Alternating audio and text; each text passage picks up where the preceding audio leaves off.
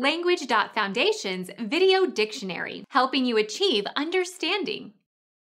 A minor inadvertent mistake usually observed in speech or writing or in small accidents or memory lapses etc. Miscue, parapraxis, slip.